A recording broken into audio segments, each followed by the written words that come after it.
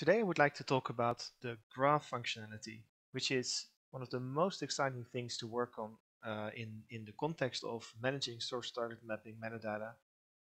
Just for as a bit of an introduction, I'm using Team version 161 for this demo, but this functionality has existed pretty much from the start of working with Team and has been improved over time.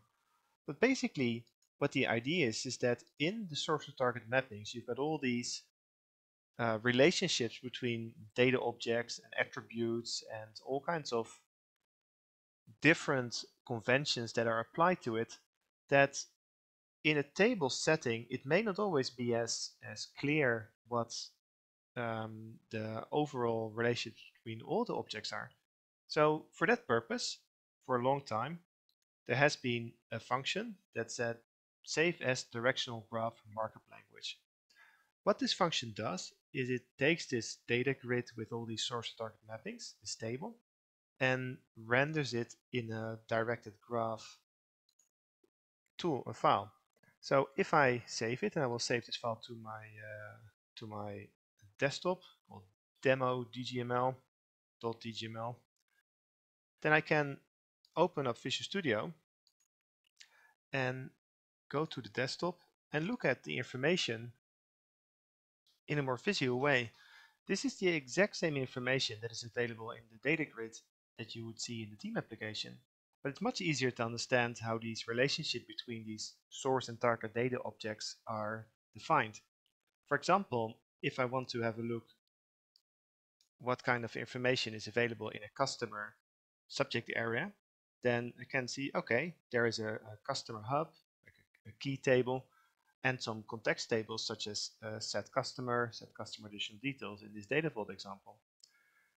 All these contextual uh, additions such as creating these subject areas or putting source target relationships and objects in, in layers, that's all derived based on the configuration in team. So by using the prefixes and suffixes and, and validating that this development approach is followed, there's a lot you can derive from the metadata in a very basic setup. And this is indeed the whole purpose of the team application.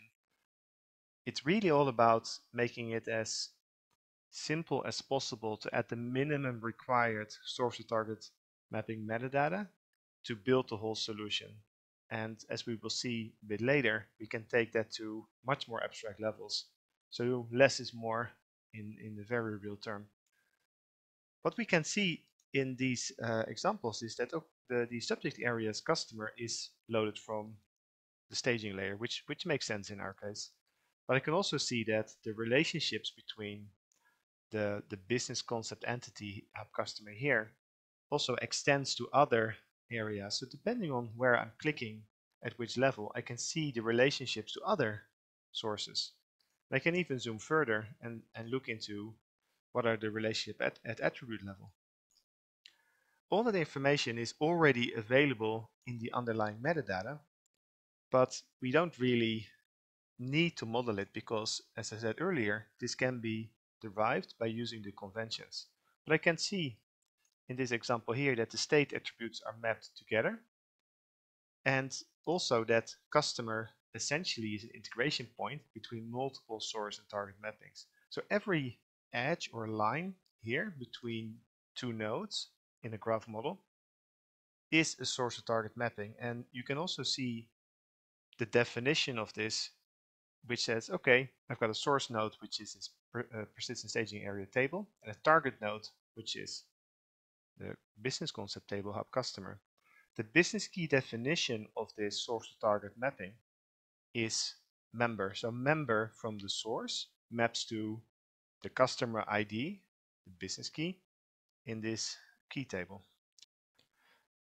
And for this particular one, there is a customer ID attribute mapped as the business key. So again, this is a very visual way of explaining the relationships between all the sources and targets and how they come together as part of what is basically a data model at a, at a higher level. This makes it really interesting to, to look at from a data model refactoring point of view, it's not really visible in the data table in the team application as much. But if you render this same metadata in a graph like we're doing now, it becomes much more easy to understand how easy it is to refactor the physical model based on these conventions. For example, if I take these two context tables, sat customer and sat customer additional details, we can look at the attributes that are part of that. But if for some reason we want to change the way we store this information at a physical uh, level, then it is as easy as dragging some of these attributes to other tables, right? So the refactoring, for example, by you know the, the rate of change of attributes or things you can measure from your day-to-day -day operation, that is at a at a at a subject matter subject uh, level. It doesn't matter because they're still the same customer entity with you know its keys and its context, but the physical storage of this information is different. So now there is a mapping between an attribute in this uh, persistent staging area table, which maps to a different table in the data warehouse or in the data vault model. And that can be done pretty much dynamically because all that matters, all that changes here is this source to target mapping relationship. And this is an, a starter to, to take a step back from the physical model and look at the information flows in a more abstract term. However, DGML itself is not really that useful for modeling as an input tool.